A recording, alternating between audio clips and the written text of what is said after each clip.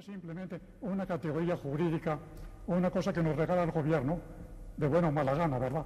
De ordinario de muy mala gana. Esa es la verdad.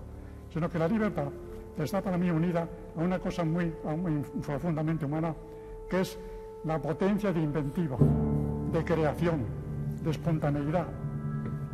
La inventiva, todo esto que tenemos aquí, son inventivas humanas.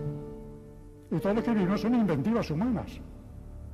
La libertad está hecha simplemente no para hacer lo que uno da la gana, sino para inventar, para crear un conjunto de cosas que las inventa uno, pero sirven para la colectividad.